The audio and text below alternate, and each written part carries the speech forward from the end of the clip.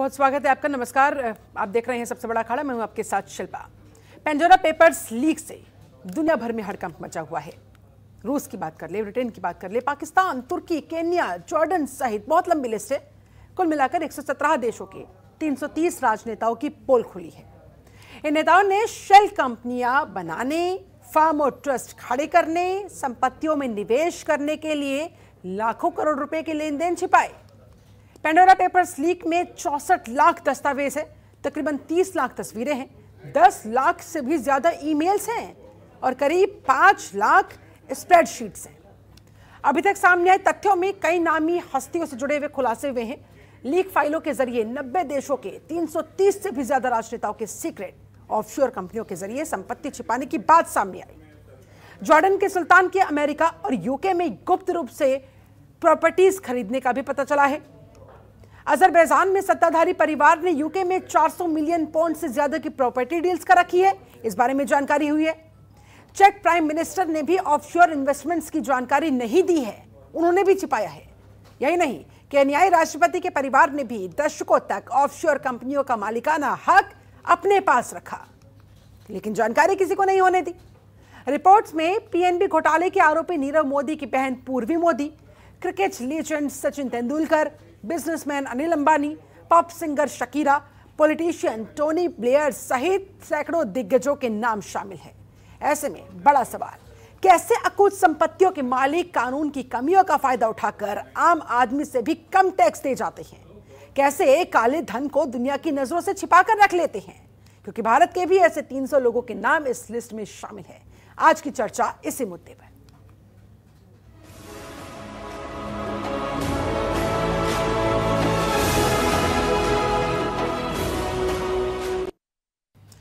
तो इन पेपर्स के सामने आने के बाद सवाल खड़ा होता हुआ पेंटोरा पेपर्स लीक से क्यों मचा है हंगामा? काले धन के आखिर कितने कुबेर हैं? और ये सारे कुबेर जिनके इस लिस्ट में नाम है, अब वो बेनकाब होते हैं। दुनिया को उनके बारे में पता लगेगा। देश का पैसा विदेश क्यों भेजा? ये भी महत्वपूर्ण सवाल, क्योंकि उस पैसे का इस्तेमाल अपने अपने देश के भले के लिए किया जा सकता था, बेहतरी के लिए किया जा सकता था, कोरोना काल में हॉस्पिटल्स के लिए किया जा सकता था। भगवान क्यों फंसे टैक्स चोरी में? भगवान, यानी कि क्रिकेट के भगवान, सचिन तेंदुलकर का नाम भी इस लिस्ट में शामिल है। दिवालिया कैसे बना रहा अरबपति? टैक्स हेवन देश पर दुनिया की कार्रवाई कब? क्योंकि ऐसे एक नहीं, दो नहीं, बहुत सारे टैक्स हेवन देश देश हैं, ऐसी बहुत सारी कंट्रीज़ हैं, जो ये काम करवा रही है। इनमें शामिल है। तो दुनिया उस पर कार्रवाई कब करेगी? बड़ा सवाल। टैक्स चोरी की चिंगारी कब तक देश पर पड़ेगी भारी? ये भी महत्वपूर्ण सवाल।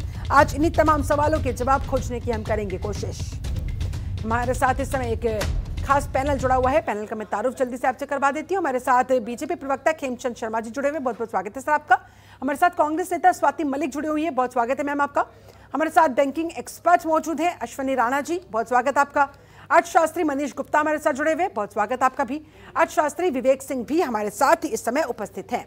आपका भी बहुत बहुत स्वागत करती हूँ। सबसे पहले, अश्विनी राणा जी, आपका रुख करना चाहूँगी, आपसे समझना चाहूँगी। ये जो पेंजोरा पेपर्स लीक मामला उजागर हुआ है, ये दस्तावेज़ जो दुनिया के सामने आ चुके हैं, इनकी वजह से हंगामा इतना क्यों मचा हुआ है? जिन जिन लोगों का इस लिस्ट में शा, नाम शामिल है उन्हें डर क्यों लग रहा है? जरा समझाइए आम शब्दों में आम लोगों के लिए। देखिए ये जो हंगामा आज हम पेंडोरा बॉक्स के नाम से पेंडोरा पेपर्स के नाम से कह रहे हैं ये 2015 में भी हुआ पनामा के नाम से। जी। उस समय भी देश के बहुत बड़े नामी ग्रामी लोगों के नाम आए।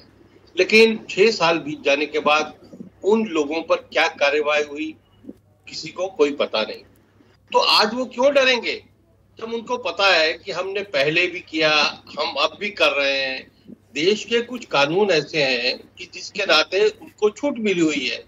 वो शेल कंपनियों के द्वारा हवाला के द्वारा यहाँ का जो पैसा है अपना वो दूसरे ऐसे देशों में ले जाते हैं जहाँ पर टैक्स नहीं देना पड़ता। तो इसके लिए सरकार को सोचना पड़ेगा कि ऐसा क्यों हो रहा? है यहाँ का पैसा वहाँ क्यों जा रहा है? और जब तक कुछ लोगों के अगेंस्ट कार्यवाही सख्ती से नहीं होगी इसके ऊपर ये दिन में दिन बढ़ता जाएगा। जी। कुछ लोगों ने नीरव मोदी जैसे लोगों ने बाहर जाके ऐसे कंट्रीज़ की सिटीजनशिप ले ली। आप उनपे क्या आ, कानूनी कार्रवाई कर सकते हैं?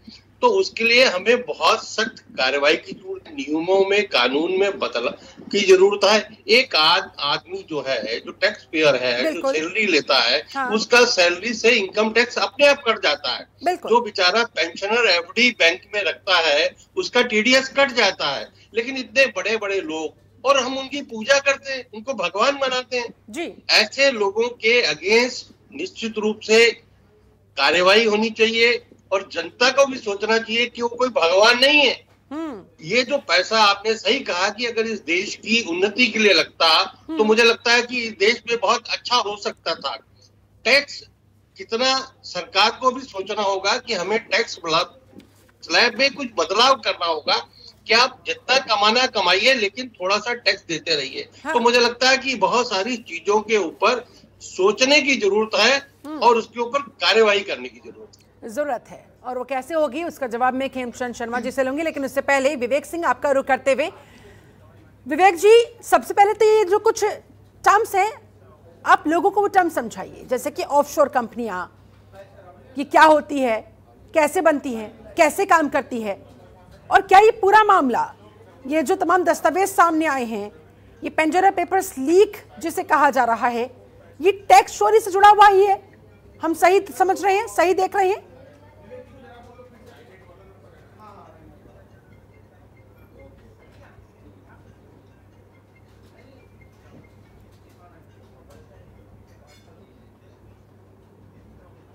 विवेक जी आपको मेरी आवाज़ मिल पा रही है?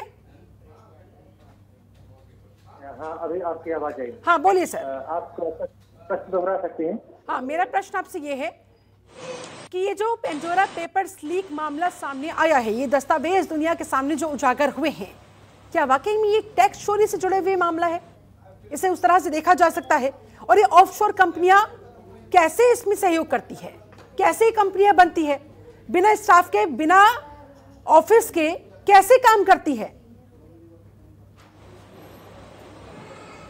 देखिए जो ये जो ऐसे जो कंपनीज़ हैं इनका यही मकसद होता है खास करके टैक्स को चोरी करने के लिए और अपने इन्वेस्टमेंट को खास करके काला धन को कैसे सफ़ेद करें। अब देखिए एक कंपनी रजिस्टर्ड तो होती है लेकिन ये कोई कारोबार नहीं।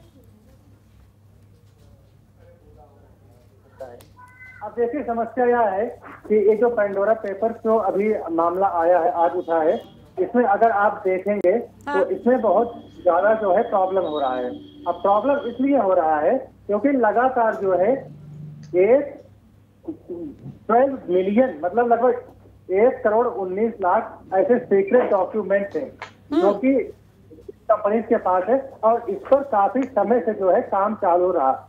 देखिए ये जो इंटरनेशनल जो आईसी आईसी एक है ये लगातार काम कर रही थी बहुत सैकड़ों पत्रकार इसमें लगे थे और पूरी इन्होंने जाँच करने के बाद ये आया है। अब देखिए पैंतीस देशों के आपने शुरुआत में बताया है कि ऐसे लगभग सौ से ज़्यादा देश के लोग इसमें शामिल हैं हाँ। जो कि कहीं ना कहीं अपने काला धन को सफ़ेद करने के लिए ऐसे जो है ऑफ़ शोर कंपनीज़ को बनाए या ट्रस्ट को बनाए और उसके थ्रू अपने पैसे का वो लोग जो है इस्तेमाल कर रहे थे। अब देखिए इसमें अपने देश के भी बहुत बड़े बड़े नाम हैं। आप देखिए पाकिस्तान में भी आया तो वो है पाकिस्तान के बहुत सारे लोगों का नाम आया है। ब्रिटेन के रशिया के जॉर्डन के। आप नाम लेते जाइए लगभग सभी देशों के लोगों के इसमें नाम आया है। हाँ। अब महत्वपूर्ण ये है कि अगर इतना सब कुछ हो गया हमारे एजेंसी को पता कैसे नहीं हुआ? अगर आप इसमें देखेंगे तो इसमें बड़े बड़े रेवेन्यू जो ऑफिसर्स हैं उसके अलावा टैक्स कमिश्नर हैं इन लोगों का भी इसमें नाम है। तो जहाँ पर इतने सारे लोगों का नाम है, जो कि इसके, इस विभाग से जुड़े हो जिनकी के काम है तो ऐसे अगर कुछ होता है तो उसकी जो सूचना है, वो तंत्र तक पहुँचाए। ऐसे लोग भी जब जो इनकम टैक्स कमिश्नर है रेवेन्यू के ऑफिसर है और बड़े बड़े जो नेता हैं, मंत्री हैं, ये लोग और सेलिब्रिटीज खास करके जिनको कि हम भगवान के रूप में पूछते हैं, ऐसे लोग जब है, और खास करके देखिए, ये जो एक ट्रस्ट बनाने का जो फ़ैशन है इसके थ्रू ये लोग पैसा देश से बाहर भेजते हैं। और ऑफ़ शोर कंपनी बनाने का यही मतलब है कि यहाँ से पैसा भेजेंगे और वहाँ पे वो जो है इन्वेस्टमेंट करेंगे और बाद में वो काला धन जो है वो सफ़ेद धन के रूप में हो जाएगा। और जब से पनामा में कभी एक एक्सपर्ट ने बिल्कुल सही था जब से पनामा का जो पेपर लीक हुआ था इतने साल हो गए उससे कोई एक्शन नहीं हुआ है। बात कब के रह गई। और आपने देखा होगा उस समय कितना हार्ट वो मचा था। लेकिन अंत में हुआ क्या? अंत में कुछ नहीं हुआ है। तो ऐसे लोग मोटिवेट होते हैं ऐसे लोगों का जो है ना ध्यान बढ़ता है। और वो चाहते हैं कि जानते हैं कि उनको कुछ होगा तो है नहीं। लेकिन हाँ। इस बार कार्रवाई और इसी बात का वो लोग फ़ायदा उठाते हैं। ठीक है विवेक सिंह जी आऊँगी आपके पास लौटूँगी आपके पास। हमारे साथ स्वाति मलिक जी भी जुड़ी हुई है कांग्रेस की तरफ़ से। जी। स्वाति जी ये हमारे देश के इतने बड़े बड़े सो कॉल्ड अमीरजादे ये किस तरह से काले धन के कुबेर बनते जा रहे हैं? और कोई इन्हें नहीं रोक पा रहा है। खामियाजा ज़ाहिर तौर पर देश को और आम जनता को भुगतना पड़ता है और भुगत भी रहे हैं। लेकिन कंट्रोल किसी का नहीं है। आप इसे किस तरह से देख रही हैं? देखिए आप इन नामों को अगर देखेंगे, इसमें अदानी है, अंबानी है अंबानी है दे आर द पीपल ये वही लोग हैं जो आज के दिन हमारे प्रधानमंत्री के इलेक्शन को फाइनेंस करते हैं रैलीज में उनके अदानी के एरोप्लेन में बैठ के। नरेंद्र मोदी जी उन्होंने कम से कम सौ डेढ़ सौ रैलियाँ की थी उनके प्लेन में बैठ के उनके प्राइवेट प्लेन में बैठ के। तो ये वही लोग हैं जो इस समय बीजेपी को सपोर्ट कर रहे हैं। सिर्फ़ वो लोग ये कर भी पा रहे हैं। आपने 2015 में जैसे अभी अश्विनी राणा जी ने भी बोला कि 2015 में कुछ नहीं हुआ उस समय के नामों को देख लीजिए। और ये जितने भी आज के दिन नाम है इनकी एक स्ट्रिक्ट इन्वेस्टिगेशन होनी चाहिए और वो बड़ी ट्रांसपेरेंट तरीके से होनी चाहिए। मैं तो कहती हूँ कि सिटिंग सुप्रीम कोर्ट जज के अंडर होनी चाहिए ये। क्योंकि देखिए जो भी अब इन्होंने अभी बनाया है कि इसकी जाँच होगी वो जाँच में कौन ऑफिसर है कैसे ऑफिसर नहीं है वो सरकारी ऑफिसर होंगे। यू नो ये सब इंटीग्रिटी को क्वेश्चन किया जा सकता है। इसलिए बहुत ज़रूरी है कि जनता का ये जनता का पैसा है जो बाहर गया है। बिल्कुल। ये जन ये अगर यही पैसा यहाँ यूज़ किया गया होता तो बहुत बहुत बड़े हमारे देश की और तरक्की होती। लेकिन अदानी जी क्या कर रहे हैं? पैसा कमा यहाँ से रहे हैं भेज विदेश में रहे हैं। अनिल अंबानी जी अपने आप को बैंक बोल देते हैं लेकिन कमाया यहाँ पे भेजा वहाँ पे। हम्म। तो इस समय इस समय सरकार को ऐसी जाँच करनी चाहिए जो एक स्ट्रिक्ट हो ऑथेंटिक हो। इसीलिए मेर, मेरा मानना है कि सुप्रीम कोर्ट के सिटिंग जज के अंडर उनकी देख रेख में इन्वेस्टिगेशन करनी चाहिए। जितनी भी रिपोर्ट्स आए वो ट्रांसपेरेंट होनी चाहिए। जैसे रविशंकर नाना जी ने बोला कि पनामा में क्या हुआ क्या नहीं हुआ हमें ही नहीं पता आज तक कि उसमें हुआ भी क्या है। और जो भी कहिए देखिए जनता की जो मेमोरी है ना बड़ी शॉर्ट पीरियड लिमिट बड़ी लिमिटेड रहती है। तो ये थोड़ा शोर होता है बैठ जाते हैं। लेकिन अगर पनामा में जो काम काम हुआ था उसके अगर कोई एक कॉन्क्रीट कंक्लूजन पे पहुँचते उस समय अगर कुछ एक्शन लिया जाता वो जनता के दिमाग में ज़रूर रहती। लेकिन उस समय नहीं हुआ तभी और लोगों को बढ़ावा मिला है। और ये बहुत ही बहुत ही दुखदायी बात है कि हमारे ऑफिसर्स रेवेन्यू ऑफिसर्स कमिश्नर्स ये लोग इन लोगों का नाम है इसमें। ये लोगों को तो हमारी देख रेख करनी चाहिए। तो हम वो जो सरकारी कमेटी भी इन्होंने बनाई है 35 जाँच के लिए पूर्व नेता। भरोसे कर ले? और तकरीबन 300 के आसपास अधिकारी लोगों का इस लिस्ट में नाम शामिल है। ठीक है लौटूँगी आपके पास। खेमचंद शर्मा जी जवाब देने के लिए हमारे साथ मौजूद है। खेमचंद जी सबसे पहले तो आप मुझे यही बता दीजिए कि आप पेंजोरा पेपर्स लीक मामले को लेकर कितने गंभीर हैं? किस तरह से इस रिपोर्ट को आप देख रहे हैं? इस खुलासे को आप देख रहे हैं?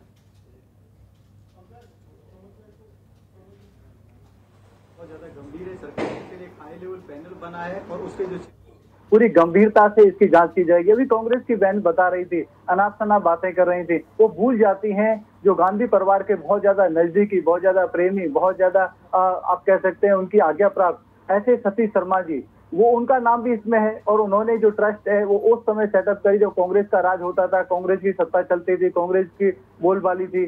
तो आप ऐसे इधर उधर की बातें करेंगे तो आपको पता चलेगा कि गांधी परिवार इसमें बहुत ज़्यादा तक घुसा हुआ है। और जितना पैसा गांधी परिवार ने या कांग्रेसी नेताओं ने देश के बाहर लिया या ले गए, उतना शायद ही आप किसी व्यक्ति को पिन पॉइंट कर सकते हो। हमारी सरकार जो है, वो जो विदेश में अपने पैसे को ले जाते हैं या टैक्स चोरी करते हैं या काला धन जमा करते हैं उन पे ज़बरदस्त तरीके से कार्रवाई कर रही है। उसी का परिणाम है कि विजय माल्या की जो रिकवरी है, वो तेरह हज़ार करोड़ से ज़्यादा की रिकवरी विजय माल्या से हुई है। उसकी एसेट्स को सेल करके भारत में हमारे सरकार की वजह से जो चोर हैं भाई हमसे सेटलमेंट कर लो और हमें आप भारत में लाके सजा मत दो। ये कांग्रेस का राज नहीं है, ये मोदी जी का राज है। मोदी जी के राज में किसी भी चोर को बख्शा नहीं जाएगा। इन्वेस्टिगेशन होगी, जिसने भी गलती की होगी, जिसने भी चोरी की होगी, जिसने भी फ्रॉड किया है, वो कोई भी हो, चाहे वो कांग्रेसी नेता हो, कोई ऑफिसर हो, कोई सेलिब्रिटी हो, किसी को भी बख्शा नहीं जाएगा। सब पे कार्रवाई होगी, ज़रूर कार्रवाई होगी। स्वाति मलिक जी कह रहे हैं कार्रवाई होगी ज़रूर कार्रवाई होगी किसी को बख्शा नहीं जाएगा। बिल्कुल, आप थोड़ा सा इतमान रखिए। शर्मा जी के बारे में विश्वास हो पा रहा है? इतना नहीं नहीं बिल्कुल और वो सतीश सिंह जी का भी सवाल आपसे पूछ रहे हैं कि आप उनको कैसे भूल गई?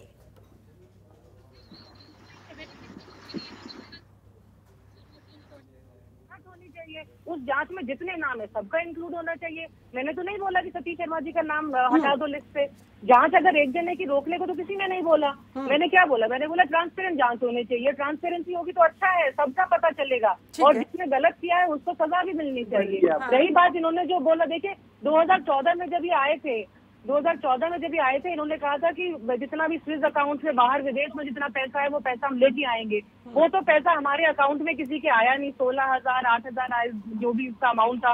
वो तो किसी के अकाउंट में आया नहीं। जो यहाँ का पैसा था ये भी इन्होंने बाहर भेज 15 लाख का दिया आप बताइए हाँ उस वो काला धन कहाँ हमारे अकाउंटों में आया? 2014 से 2021 हो गया है।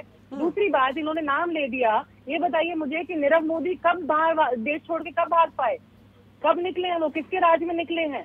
विजय माल्या किसके राज में बाहर भाग पाए? जो बीजेपी का काम है ये। इनका काम है गांधी परिवार का नाम दिलाओ। किसके इनका इनका आपके अगर आपके राज में तो चले गए ना आपने जाने कैसे दिया सर? आपने जाने कैसे दिया? आप मुझे ये बताइए आपने पैसा जाने दिया कैसे दिया? ना निकल कैसे पैसा दिया? देश से? कांग्रेस के सरकार में पैसा दिया गया कांग्रेस के नेताओं के फ़ोन पर यहाँ से निकले कैसे? कांग्रेस की यहाँ सरकार से में निकले कांग्रेस कैसे? में नहीं जाते।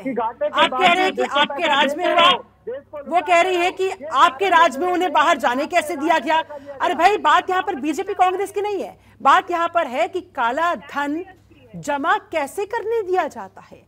क्यों उस पर लगाम नहीं लग पाती है? ये सवाल मेरा दोनों पक्षों से है, दोनों पार्टियों से है। लेकिन लेकिन आप लोग फ़िलहाल, आप लोग फ़िलहाल 2014 के बाद से लगातार है ना, शर्मा जी? तो अब फ़िलहाल आपसे सवाल पूछा जा रहा है कि इस पीरियड के दौरान आखिरकार किन किन चीज़ों पे आप लोग कंट्रोल कर पाए हैं? और ये जो कानून की कमी है उसे दुरुस्त करने के लिए क्या कोशिशें आपकी तरफ़ से की गई है जिसका फ़ायदा ये तमाम लोग अब तक उठाते आए हैं?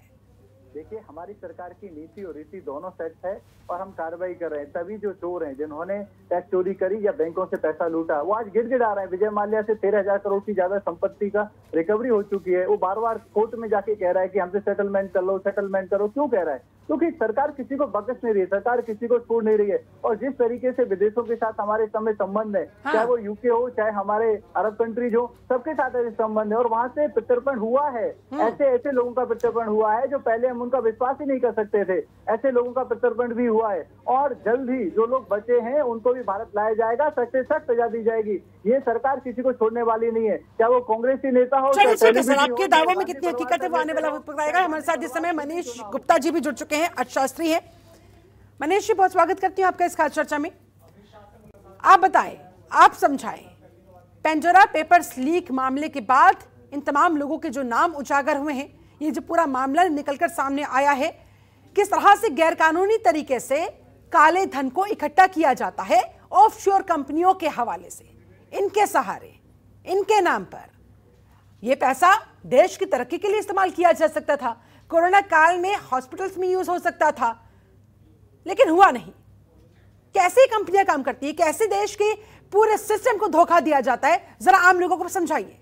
मनीष गुप्ता। सिंपल तरीके से समझिए पेंडोरा हो या पनामा लीक्स हो या ऑफशोर किसी और कंपनी में फंड की बात हो। सबसे पहले अगर हम बात करें कि ये फंड का सोर्स क्या है तो ये फंड का सोर्स इंडिया है।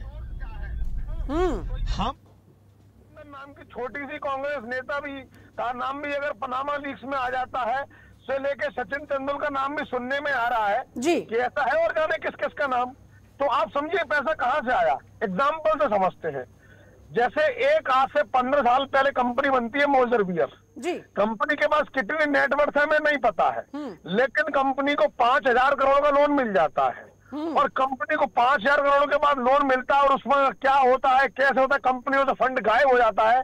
कंपनी इंसॉल्वेंसी में चली जाती है। हाँ। और इंसॉल्वेंसी में जाने के बाद कुछ मामूली रुपए में कंपनी को पैसा बैंक के पास पहुँच जाता है। अब प्रमोटर्स ने या जिस किसी ने डायरेक्टली इनडायरेक्टली यो करके त्यों करके पैसा वहाँ से निकाल लिया वो सैकड़ों करोड़ रुपया बैंकों का जी। निकल गया। हमें पहले ये देखने कि बैंक ने ऐसे लोन क्यों दिया जब वो एलिजिबल नहीं थे?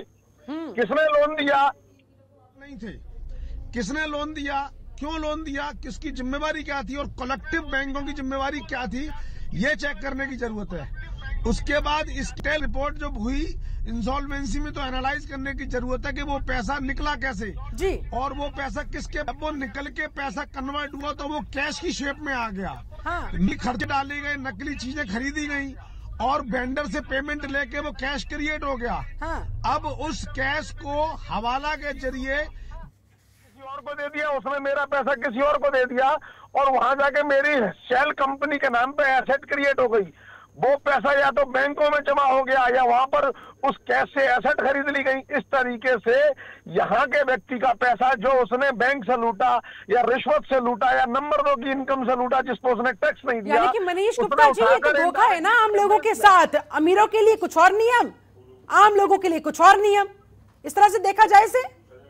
इसमें देखिए इसमें नियम का सिस्टम नहीं है हाँ। इसमें जो पैसा नंबर दो से या तो कहीं फ्रॉड कर रहा है या। वो इनकम ऐसी ला रहा है जिस पर इनकम टैक्स नहीं दे रहा है हाँ। या गैर कानूनी तरीके से चाहे चोरी डकैती किसी तरीके से कमा रहा है वो तो बिना हाथ लगाए हाँ। घुमा फिराकर विदेशों में ऑफशोर में शेल कंपनीज़ के नाम पर शेल मुखोटा व्यक्तियों के नाम पर लगा दिया गया हम्म। और जब वो लोग विदेश जाएँगे तो उनके बच्चे विदेश जाएँगे तो वो उस पैसे से एंजॉय करेंगे बिल्कुल। अपना बढ़ापा सिक्योर करने के लिए ये सब और अपने टैक्स के पैसे बिना टैक्स टैक्स चोरी के पैसे को लेकिन धोखा तो देश के साथ हो रहा है ना कैसे इस धोखे को रोका जाए कैसे इन लोगों को पकड़ा जाए इन पर लगाम लगाई जाए अब देखिए अगर अगर आपका प्रश्न बहुत ही वाजिब है इन पर निगाम कैसे लगाई जाए इसके लिए सबसे बड़ा तरीका जो प्रधानमंत्री श्री नरेंद्र मोदी जी ने निकाला जी। वो हर चीज़ को डिजिटाइज किया जाए। आप देखें इनकम टैक्स में और कंपनीज़ एक्ट में जितनी चीज़ें लगातार ऑनलाइन होती जा रही हैं जिस तरीके से पेमेंट ऑनलाइन होते जाएँगे तो कैश का मूवमेंट खत्म होता चलाएगा। एक अगर ऑनलाइन होगी तो आपके बैंक अकाउंट में रिफ्लेक्ट करने लगेगी। आप उसे कैश में कन्वर्ट नहीं कर पाएँगे। तो ऐसे अगर हम देखें तो इफेक्टिवली आने वाले समय में ये समस्याएँ आएँगी नहीं। ये जो आज हम समस्याएँ देख रही हैं, वो सात साल, दस साल, बारह साल पुराना, जो लोगों ने पैसा कमाया अगर हम किसी खिलाड़ी की बात करें जो आज रिटायर है तो दस साल पहले वो खेलता था हाँ। पैसा एडवर्टाइजमेंट से कमाता था उसको कहा कि हम आपको पैसा वहाँ दे देते हैं फला लंदन में आपको एक बिल्डिंग दे देते हैं हाँ। तो इस तरीके से उनको पैसा दिया गया वो रास्ते धीरे धीरे बंद होते जा रहे हैं हाँ। तो ऐसे आने वाले समय में ऐसा नहीं होगा लेकिन ये पुराने पाप है जो निकल के आ रहे हैं कहीं ना कहीं आप इसे सरकार की सफलता के तौर पर लीजिए और ऐसे में अश्विनी राणा जी मैं आपसे यह ठीक है ठीक है आऊँगी सर आपके पास। अश्विनी राणा जी मुझे ब्रेक पर जाना होगा लेकिन ब्रेक पर जाने से पहले जरा मुझे जल्दी से ये बता दीजिए कि कैसे राय का पहाड़ बना दिया जाता है। यानी कि बैंक की भी गलती होती है। सिस्टम पूरे की पूरा इसमें मिला हुआ होता है। सिस्टम की गलती होती है सिस्टम की लूपहोल की गलती होती है जिस वजह से इन लोगों की इतनी हिम्मत बढ़ जाती है। देखिए ऐसे भी कह रहे थे। वही वही वही हुआ है। आज बैंकों में जो कार्य प्रणाली है वो चेंज हो चुकी है। हाँ। जो लोन देने का तरीका है वो बदला जा चुका है। हाँ। ये पुराने तरीकों से समय में जो फ़ोन बैंकिंग के द्वारा सरकार के दबाव के कारण जो है ये लोन ऐसी ऐसी कम अब मोटर बियर की बात कर रहे थे वो किस समय का बात है? ऐसे और मल्ल्या को पैसा मिला वो कौन से पीरियड की बात है? तो यानी कि इस तरह के इंसिडेंट से सबक लेते हुए अब रिफॉर्म लाया गया है और आगे से ऐसा नहीं होगा ये एश्योरेंस बैंक्स की तरफ़ से दी गई है। सुधार हुआ है लेकिन यहाँ कांग्रेस बीजेपी ना करके हाँ। सरकार जो है आज वो सही दिशा में जा रही है है। लेकिन सही दिशा में जा रही है आगे के लिए। लेकिन जो पुराने पापी हैं जिन लोगों ने पुराने पाप किए हैं उनकर उन पर भी कार्रवाई बहुत ज़रूरी है ताकि बाकी लोगों को तभी सबक मिलेगा कि जब ऐसे लोगों के ऊपर कार्रवाई हो। ठीक है। विवेक जी कुछ कहना चाह रहे हैं। विवेक जी जल्दी से उसके बाद मुझे ब्रेक पर जाना होगा। देखिए शिल्पा जी। एक बहुत महत्वपूर्ण बात यह है देखिए शिल्पा जी एक बहुत महत्वपूर्ण बात यह है कि देखिए अभी आपने कहा कैसे इसको रोका जा सकता है। देखिए इम्पोर्टेंट समझना यह है कि शेल कंपनी या ऑफ़ जो है ऑफ़ शोर कंपनी वो देश में अगर उसको विदेश में बना दिए तो ऑफ़ शोर हो गई। तो ऐसी कंपनी जो कि रजिस्टर्ड है लेकिन कारोबार नहीं कर रही है इसको किया जा सकता है। लीगली ये काम हम कर सकते हैं। इसमें कोई शंका की बात नहीं है। समस्या यहाँ पैदा होती है कि आपके पैसा ट्रांसफ़र कैसे हुआ? आपने वहाँ पर इन्वेस्टमेंट पेमेंट कैसे किया? और लोन कंपनी क्या सही और लीगल प्रोविज़न है उसके अंतर्गत कंपनी बना सकते हैं। लेकिन कंपनी बनाकर जो फ्रॉड किया जा रहा है जो ब्लैक मनी को हम इकट्ठा कर रहे हैं जो हम ब्लैक मनी को व्हाइट मनी में तब्दील कर रहे हैं समझ होती है। अब जो पेंडोरा पेपर लीक मामला आया है इसमें यही बताया गया है कि कैसे यहाँ के लोगों ने ट्रस्ट बनाया या फिर ऐसे ऑफशोर जो है शेल कंपनी बना के उन्होंने जो है पैसा वहाँ पे लगाया। और उसके बाद उस पैसे को एक तो टैक्स की चोरी किया। और इसमें देखिए सब मिले हुए लोग हैं। ऐसे एक तो दो कोई लोग नहीं कर सकते। इसमें कंसल्टेंट भी हैं इसमें सीए बहुत लंबी चेन होती है। और सबका अपने अपने कमीशन होता है। पूरी तरह से ये मामला सीक्रेट होता है। लेकिन अब ये सीक्रेट उजागर हो गया है। 18 महीनों की जाँच के बाद ये खुलासा किया गया है। 117 देशों के 600 से ज़्यादा पत्रकारों ने ये खुलासा किया है 18 महीनों की मेहनत के बाद। फ़िलहाल अब सभी मेहमान मेरे साथ बने रहे। मुझे यहाँ पर रुकना होगा एक बहुत छोटे से ब्रेक के लिए। ब्रेक के बाद लौटेंगे, चर्चा को आगे बढ़ाएँगे, करेंगे जाने की कोशिश कि गुप्त स्थानों पर रखी तिजोरियों का अकूत पैसा सामने लाया जाना कितना ज़रूरी है?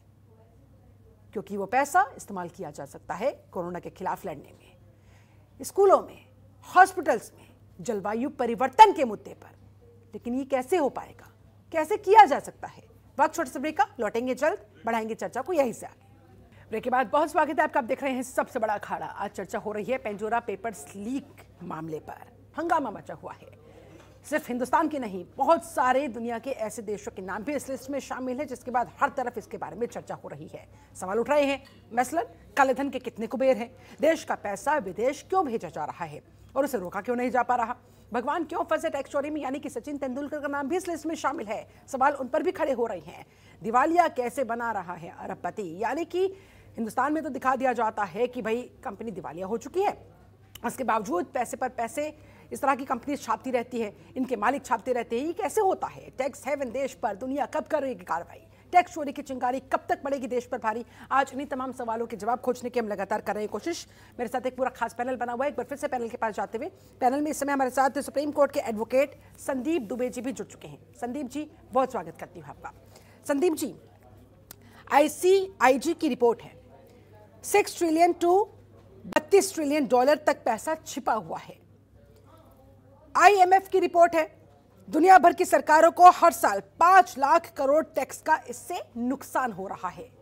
और अब ये आंकड़े, ये पूरा मामला दुनिया के सामने आ चुका है।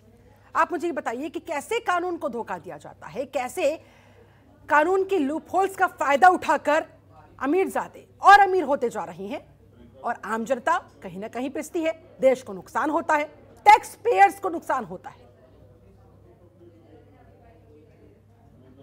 देखिए इसमें क्या है कि ये एक बड़ा इंटरनेशनल मार्केट है और जी। ये जो लोग काम कर रहे हैं इसके पीछे जो लगे हुए हैं वो छोटी छोटी कंपनियाँ बनाते हैं उसका बिज़नेस करते हैं हाँ। उसके गवर्नमेंट्स के जो बेनिफिट्स हैं उसको यूज़ करते हैं और यूज़ करने के बाद मुझे ना आवाज़ ठीक है मैं अपनी टेक्निकल टीम को बोलूँगी इको प्रॉब्लम वो सॉर्ट आउट करेंगे। प्लीज़ कंटिन्यू ओके तो ये छोटी छोटी कंपनी बना के जो काम करना है यूएस बेस्ड जो कल्चर आया है भारत में या और भी देशों में तो आजकल जो ट्रेड के नाम पे और चोरियाँ जो हो रही हैं इस तरह की और एक वस्तु को दूसरे वस्तु से तुलनात्मक करके एक देश से दूसरे देश भेजना काम करना और इस तरह के ट्रेड में बहुत ढेर सारे लोग इन्वॉल्व हो गए और खास तौर से इसमें कहीं कई तो जगह देखने को मिला है जो सरकारों में भी छिपे हुए लोग हैं पुलिस प्रशासन में छिपे हुए लोग हैं हर सेक्टर में छिपे हुए लोग हैं और इनको खोजना ढूंढना एजेंसियों के लिए मुश्किल इसलिए हो जाता है कि इन पे बड़े बड़े लोगों के हाथ होते हैं। ये सरकार चलाने तक में इनका सहयोग होता है। तो ऐसे में काफ़ी इंपॉर्टेंट है कि जो भी गवर्नमेंट है जहाँ भी गवर्नमेंट है भी मोटा पैसा मिलता है सरकार को भी फ़ायदा होता है सरकार के नुमाइंदे उसमें इन्वॉल्व होते हैं। इस वजह से इस पूरे खेल को अंजाम दिया जाता है और वो बचकर रहते हैं।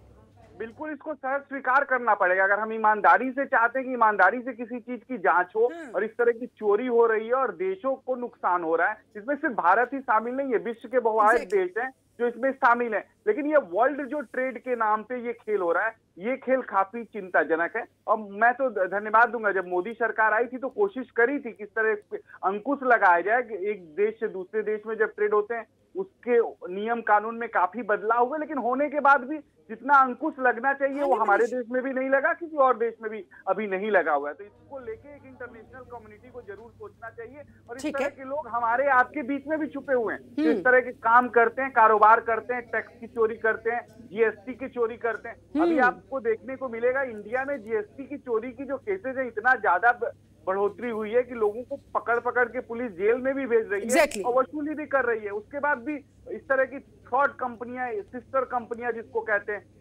सिस्टर कंसर्न कंपनियाँ जो इस देश में काम कर रही हैं। तो आज ज़रूरी है कि एक मज़बूत कानून की भी आवश्यकता है और इसमें ठीक है मज़बूत कानून की इस समय आवश्यकता है। कानून को और अधिक स्ट्रांग किए जाना इस समय वक्त की दरकार आप बता रहे हैं। मनीष गुप्ता जी कुछ कहना चाह रहे हैं। हाथ उठा रहे जी मनीष। जी विवेक जी आऊँगी आऊँगी आपके पास भी। एक बार मनीष जी की बात हो जाए उसके बाद मैं आपके पास आती हूँ। मैं ये जोड़ना चाह रहा था इसमें सबसे बड़ा जो योगदान था पैसे को देखिए अभी मैंने बात की कि पैसा कैसे है। जनरेट होता है। एक एक करके प्लीज़ एक एक करके। मनीष जी एक बार आप अपनी बात पूरी कीजिए उसके बाद मैं विवेक जी के पास जाती हूँ। बोलिए। हाँ, मैं मैं इसमें ये बताना चाह रहा हूँ आप जब मौका देंगी कि कैसे जनरेट हुआ मैंने बताया कैसे ट्रांसफ़र होता है वो बताऊँगा। कैसे ट्रांसफ़र होता है बताइए समझाइए सर। होता था हाँ। नकली एक्सपोर्ट और नकली इंपोर्ट का तरीका था जिसमें हाँ। पैसे का आवागमन होता था यानी जैसे हमने चाइना से कोई माल एक लाख रुपए का इंपोर्ट करना है है। और चाइना में हमने कैश भेजकर जो है जो बिलिंग कराई वो चालीस हज़ार की कराई हाँ। तो ऐसे करके हमने कैश भेजा और वहाँ से माल आया पूरे एक लाख का हमने पेमेंट उसको एक्चुअली की चालीस हज़ार की यानी साठ हज़ार रुपए का हमने यहाँ पे ट्रांसफ़र कर लिया अब इसको कैसे रोका मोदी सरकार ने मोदी सरकार ने अब दोनों साइड की बिल ऑफ़ एंट्री को मैच करने का आदेश दे दिया अच्छा। यानी जो चाइना से एक्सपोर्ट हो रहा है और इंडिया से इंपोर्ट हो रहा है हाँ। अब इंपोर्ट और एक्सपोर्टर दोनों को अपनी अपनी बिल ऑफ़ एंट्री प्रेजेंट करनी पड़ेगी कि जो माल उसने यहाँ भेजा एक्चुअल में वो माल यही रिकॉर्ड में आया कि नहीं आया हाँ। वहाँ पे क्या वैल्यू एक्सपोर्ट हुई और यहाँ पे क्या इम्पोर्ट हुई होता क्या तो चाइना में लोग वहाँ पर एक्सपोर्ट का इंसेंटिव ले रहे हैं और इंडिया माल अंडर बिलिंग होके आ रहा है ठीक इसी तरीके तो से मनीष मिडिल ईस्ट को ये सब कुछ पहले का मामला है अब काफ़ी हद तक कंट्रोल किया जा चुका है। अब संभवतः आगे ऐसे मामले नहीं बढ़ेंगे। पहले इस पर बड़ा एक ज़रूरी नोटिफिकेशन मोदी सरकार लेके आई थी ठीक है। जिसकी वजह से एक्सपोर्ट में और इंपोर्ट में जो अंडर बिलिंग की वजह से कस्टम ड्यूटी की चोरी होती थी हाँ। और साइमल्टेनियसली हवाला के ज़रिए पैसे का जो ट्रांसफ़र होता था दोनों पे बड़ी मात्रा में लगाम लग गई है। मैं समझता हूँ आने वाले समय के लिए ये वॉल्यूम काफ़ी घट गया है। ठीक है। विवेक जी अब आप अपनी बात रख सकते हैं। आप क्या कहना चाह रहे थे? करना चाहूँगा जो दुबे के बोल रहे थे सरकार शर्मा जी, को इसके कोई बाद आपके फ़ायदा पास होता है। सरकार को कोई फ़ायदा होता है देखिए सरकार को कोई फ़ायदा नहीं होता है सरकार को नुकसान होता है। अगर अच्छा। कोई ऐसी ऐसी एक्टिविटीज़ होती है तो उससे सरकार को नुकसान होता है सरकार को कोई फ़ायदा नहीं होता। है हाँ फ़ायदा होता है कुछ भ्रष्ट लोगों को कुछ भ्रष्ट मंत्रियों को कुछ भ्रष्ट नेताओं भ्रष्ट मंत्रियों को कुछ भ्रष्ट नेताओं को कुछ भ्रष्ट अफसरों को। इनको फ़ायदा होता है, सरकार को कोई फ़ायदा नहीं होता है। एक बात तो मैं बोलना चाहता था, दूसरी बात मैं बोलना चाहता है, देखिए, आपको अभी आमूल चूक परिवर्तन करने पड़ेंगे, खास करके बैंकिंग सेक्टर में आपको रिफॉर्म्स और करने पड़ेंगे, इसके बिना ये हो नहीं सकता है। हवाला के ज़रिए भी इसमें पैसे का ट्रांजेक्शन होता है, ये भी सबसे छुपी हुई बात नहीं है। तो हवाला भी इसके ज़रिए भी पैसे का ट्रांजेक्शन होता है, और आप तक जब तक इसमें टू वे इसमें आपको इस चेक और बैलेंस करने की व्यवस्था नहीं करेंगे, जब तक बैंकिंग रिफॉर्म्स नहीं होगा, जब तक आप अकाउंटेबिलिटी नहीं फिक्स करोगे हर अधिकारियों की। वो चाहे कस्टम से हो चाहे एक्सपोर्ट इम्पोर्ट से हो चाहे इन्वेस्टमेंट से हो या चाहे वो बैंक से जुड़े हुए लोग हैं तब तक आप जो है इस पर कंट्रोल नहीं कर सकते हैं। तब तक पहले भी कंट्रोल नहीं किया जा सकता है। अगर कंट्रोल नहीं ठीक है। तो आगे भी ऐसा खेल आपने सारी कंडीशन बता दी है। खेमचंद शर्मा जी अब आप बताइए कि कैसे इन चीज़ों को पूरा किया जा सकता है? कैसे इन लोगों पर लगाम लगाई जा सकती है? और कहा जा रहा है कि भाई अ, सरकार को भी पैसा मिलता है लेकिन यहाँ पर विवेक जी कह रही है कि सरकार को कोई फ़ायदा नहीं होता, बल्कि भ्रष्ट लोगों को फ़ायदा होता है और अपने भ्रष्टाचार के तहत ही इसे अंजाम देते हैं।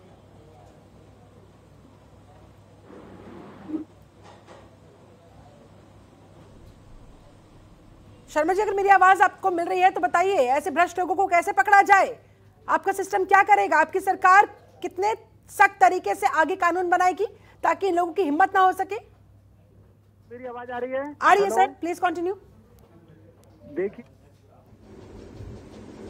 देखिए अभी जैसे हमारे फाइनेंस एक्सपर्ट ने बताया कि इससे सरकार को फ़ायदा नहीं होता नुकसान इतनी बीमारियाँ निकल के आ रही हैं पुरानी बीमारियाँ हैं ये सरकार लगातार कदम उठा रही है। चाहे दोनों साइड के बिल की मैचिंग हो या लाखों की संख्या में मेरे पास जो डेटा है उसके अनुसार छह लाख अस्सी हज़ार के आसपास कंपनियों को बंद किया गया है। और ये अ, ये संसद में जो फाइनेंस मिनिस्टर उन्होंने ऑन द रिकॉर्ड बताया कि लगभग 19 लाख कंपनियों में से जो हमें लगा कि जो फेक कंपनियाँ हैं गलत कंपनियाँ फ्रॉड कंपनियाँ हैं जिनमें गलत तरीके से ट्रांजेक्शन हो रही है ट्रांजेक्शन नहीं हो रही है और जिनका मिसयूज किया जा सकता है ऐसी कंपनियों को लाखों की संख्या में हमारी सरकार ने बंद किया है। और हमारी सरकार विदेशी जो गवर्नमेंट है उनके साथ ड्यूल एग्रीमेंट कर रही है क्योंकि जो ये टैक्स का फ्रॉड है टैक्स की चोरी है शायद एक आध कंट्री को फ़ायदा हो रहा हो लेकिन अधिकतर कंट्री लेकिन बड़ी अमाउंट में हवाले के ज़रिए पैसे का लेन देन हो रहा है ट्रांसफ़र हो रहा है पैसा अंदर से बाहर बाहर से अंदर। कैसे उस पर आप नज़र रखेंगे? मैडम नज़र रखी जा रही है ड्रास्टिकली उसमें रिडक्शन आया है ड्रास्टिकली उसमें कमी आई है लेकिन ये तंत्र बहुत मज़बूत था बहुत बड़ा है और इसके बहुत सारे इसमें लूप होल्स हैं। सरकार सभी लूप होल्स को बंद करने का काम कर रही है सरकार डिजिटलाइजेशन का काम कर रही है सरकार विदेशी गवर्नमेंट के साथ कॉन्ट्रैक्ट कर रही है उनके साथ एग्रीमेंट साइन कर रही है कि हमें डेटा शेयर करना है इन्फॉर्मेशन शेयर करनी जब हम फाइनेंशियल इन्फॉर्मेशन को शेयर करेंगे डेटा को शेयर करेंगे तो हमें पता चल जाएगा कि हमारे लोगों ने वहाँ पे जाके कितनी इन्वेस्टमेंट करी कहाँ से पैसा आया कहाँ से उन्होंने रिसोर्सेज को अरेंज किया। अगर फ्रॉड है तो हम उसको डिटेक्ट कर सकते हैं और ऐसे ही हम दूसरी सरकारों को भी मदद करेंगे। तो हमारी गवर्नमेंट मल्टीपल फ्रंट पे चारों ओर से थ्री सिक्सटी डिग्री पे काम कर रही है और हम इसको जल्द ही इस समस्या पे काबू पाने की कोशिश कर रहे हैं। सरकार कह रही है 360 डिग्री एंगल पर काम हो रहा है। तेज़ी के साथ काम हो रहा है। निश्चिंत रहने की आवश्यकता है।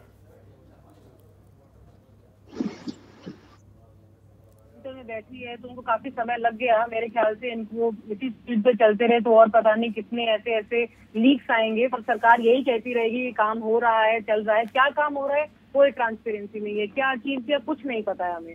ठीक है, पहली बात तो ये। दूसरी बात, मेरा मानना ये है कि जितने भी ऑफकोर्स हमारे new laws and banking laws में भी थोड़ा मॉडिफिकेशन चेंजेस लाने की ज़रूरत है। लेकिन उससे बड़ी बात ये है कि जितने हमारे ऑलरेडी एग्जिस्टिंग लॉज हैं चाहे वो एंटी करप्शन लॉज हैं जो। हमारे ऑफिसर्स हैं इन्वॉल्व इन चीज़ों में ठीक हाँ। ठीक है उनको हम उनको इस बात का डर क्यों नहीं है कि एंटी करप्शन लॉज तो है ही ना इंडिया में? उसकी एग्जीक्यूशन उसकी इम्प्लीमेंटेशन एग्जैक्टली उसकी इम्प्लीमेंटेशन अगर स्ट्रिक्टली होगी कि इंसान को पता है कि उसने पाँच सौ रुपए का भी इधर से उधर किया तो उसकी नौकरी जा सकती है उसके सारे बेनिफिट जा सकते हैं। यह नहीं है कि मैं अपने आप सीनियर ऑफिसर से या अपने पॉलिटिशियन से सीनियर लीडर से बात करके उसको चेक कर लूँगा। बात पाँच सौ रुपए की हो या पाँच सौ करोड़ की हो हम्म। ये डर और सजा एक ही होनी चाहिए। और वो तभी आएगी जब हमारे एग्जिस्टिंग ऑफ़ कोर्स जो हमें चेंजेस आने हैं रिफॉर्म्स आने हैं उसमें तो टाइम लगेगा। बिल्कुल। लेकिन जो एग्जिस्टिंग है आप उसको भी अगर स्ट्रिक्टली इम्प्लीमेंट कर लें हम्म। उसका भी ये कॉन्सिक्वेंस का खौफ जो बैठ जाए अगर, कि हाँ इस केस पाँच सौ रुपए का भी बड़ा खतरनाक कॉन्सिक्वेंस होने वाला है। अगर वो डर हमारे ऑफिसर्स के दिमाग में भी हो, उनके जहन में राधर उनको थोड़ा वो डर ही मैं कहूँगी, उनके जहन में होना चाहिए। तभी ये जो करप्शन है बिकॉज़ ये करप्शन ठीक है। हमारे जितने भी जितने भी ये लोग हैं ये हमारी सोसाइटी की भी प्रॉब्लम है। तो उसका डर उसको सोसाइटी एज सोसाइटी में रिफॉर्म करना पड़ेगा और वो तभी यानी होगा कि करप्ट law and order की ब्यूरोक्रेट्स करप्ट ऑफिसर्स के मन में ये डर पैदा करना होगा। खेमचंद शर्मा जी आप कुछ कहना चाह रहे थे? और जरा इस बात का भी जवाब दीजिएगा ये डर कैसे पैदा किया जा सकता है? क्योंकि कानून तो है हर कोई जान रहा है। उन्हें स्ट्रांग और बड़े स्तर पर करने की आवश्यकता हाँ नहीं ये बात की बात है। लेकिन जो मौजूदा कानून है उसे अगर सही तरीके से इम्प्लीमेंट करवाया जाए तो काफ़ी हद तक तस्वीर बदल सकती है। देखिए, हमारी कांग्रेस की बहन प्रिंसिपल बहुत अच्छी बातें कर रही हैं। काश इनकी सरकारों ने भी ऐसा सोच के काम किया होता। तो राजीव गांधी जो ऑफिशियल बोलते थे कि जब मैं एक रुपया भेजता हूँ तो उससे पंद्रह पैसे पहुँचते हैं, पिचासी पैसे रस्ते में ही अटक जाते हैं। तो उनकी सरकार में अगर पिचासी पैसे को जो लोग खा रहे थे करप्ट लोग खा रहे थे, अपने पेट में हजम कर रहे थे, उसको रोकने का काम किया जाता है तो ये समस्या कब की खत्म हो जाती और हमारा देश है, जो डेवलपिंग देश है, वो डेवलप देश बन बन चुका होता। लेकिन वो समस्या तब खत्म नहीं क्योंकि जो उनकी नीति और जो नीयत सही नहीं थी, आज की सरकार एक रुपया अपने पास से भेजती है, पूरा का पूरा जनता को मिलता है, चाहे पीएम किसान का हो चाहे हम लोग जनधन अकाउंट में पैसा भेज रहे हो चाहे हमारी गैस की सब्सिडी जा रही हो कोई भी पैसा जो जनता के पास हमें भेजना है पूरा का पूरा जाता है समय पे जाता है टाइम से जाता है और जब भेजा जाता है तब जाता है। ये ट्रांसपेरेंसी हमने क्रिएट करी। आधार से लिंक करके लाखों हमने जो फेक फेक जो सरकारी कर्मचारी होते थे उनको हमने सिस्टम से हटाया और उससे करोड़ों की संख्या में ऐसे लोग जो पैसा कमा रहे थे गलत तरीके से वो हटे सिस्टम से और अरबों रुपए की इसमें बचत हो रही है।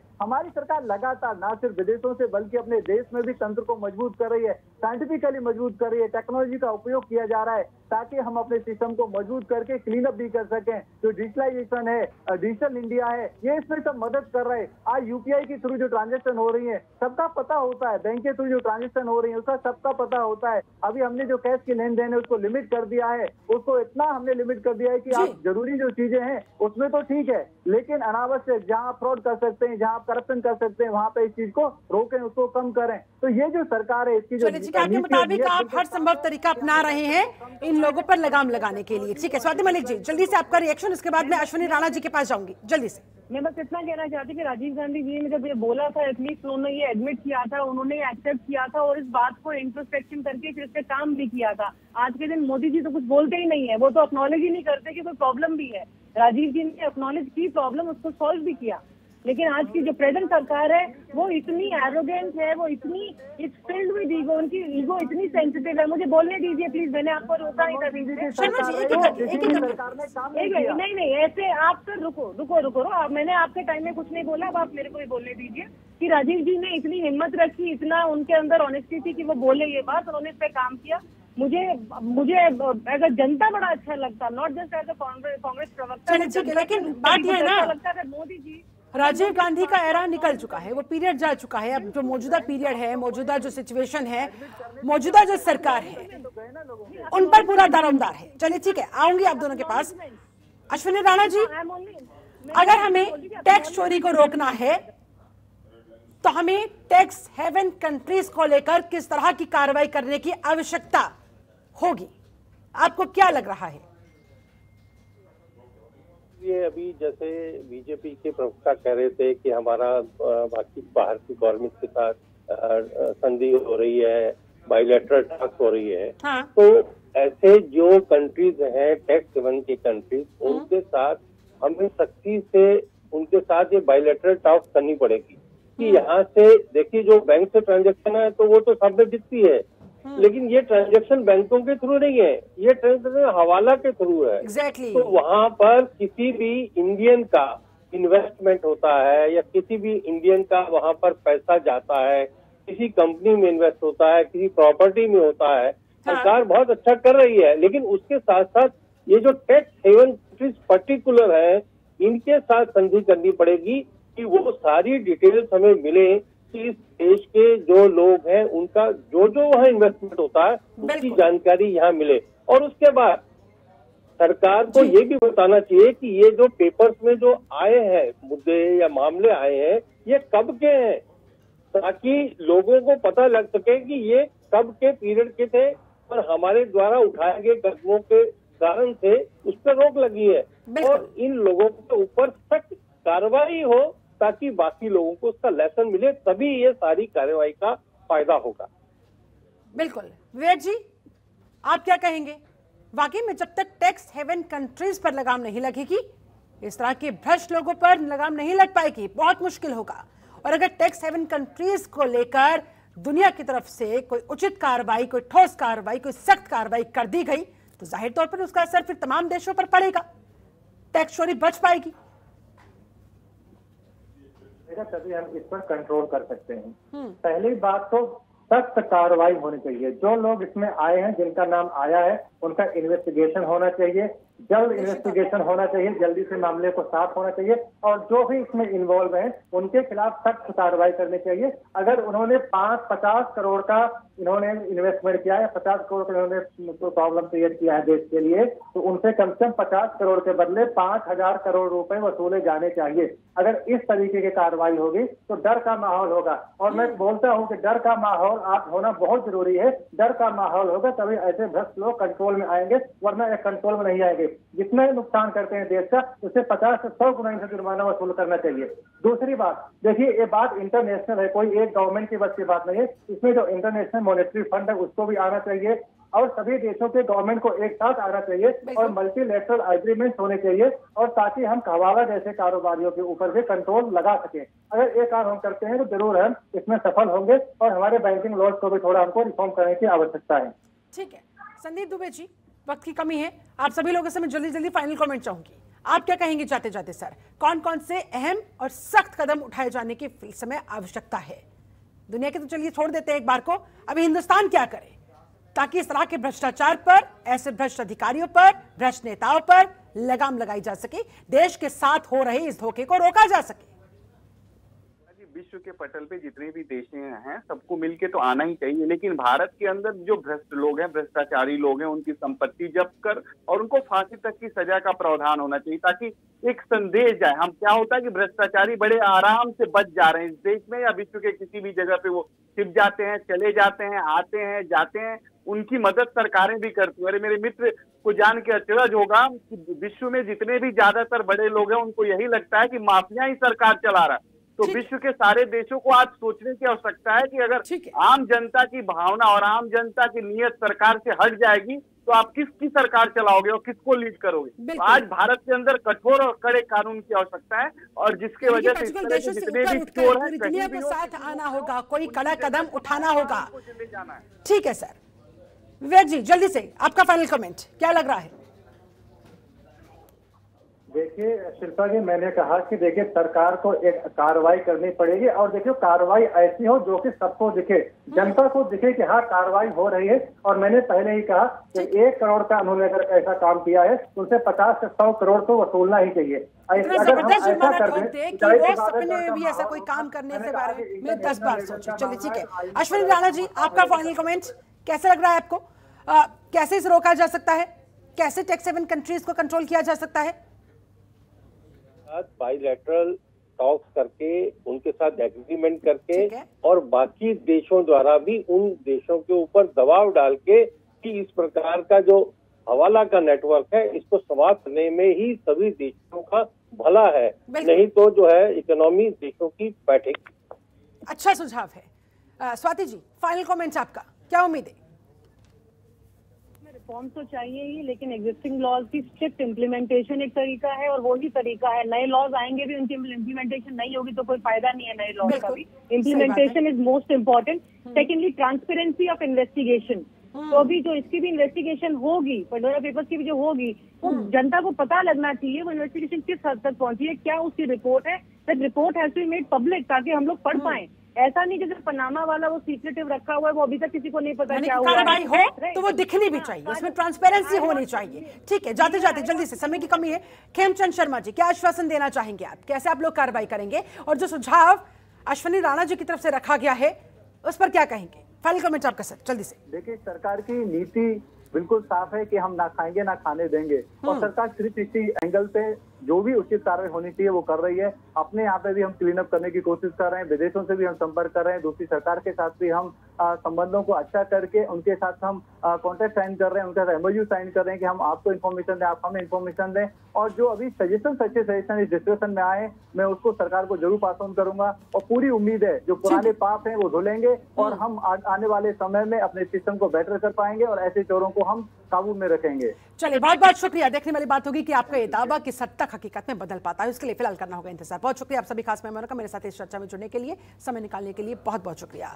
कल मिलाकर दावा तो किया जा रहा है। उस दावे में कितनी सच्चाई हो पाएगी, ये आने वाला वक्त बताएगा। लेकिन टैक्स चोरी हर हाल में रोकनी होगी, अगर हम अपने देश की वास्तविकता में तरक्की चाहते हैं। क्योंकि ये टैक्स का पैसा जो चोरी करके विदेशों में भेज दिया जाता है, उस पैसे से गरीब लोगों की बहुत हद तक मदद हो सकती है। उनका जीवन बदल सकता है। बहुत सारे लोग बीपीएल रेखा से बिलो पॉवर्टी लाइन से ऊपर लाए जा सकते हैं।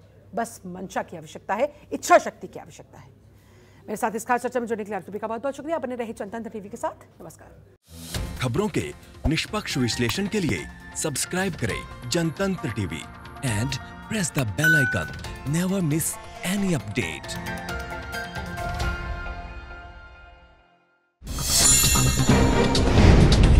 download कीजिए जनतंत्र टीवी ऐप को जो कि अवेलेबल है गूगल प्ले और ऐप स्टोर पर। अधिक जानकारी के लिए अभी डाउनलोड करें।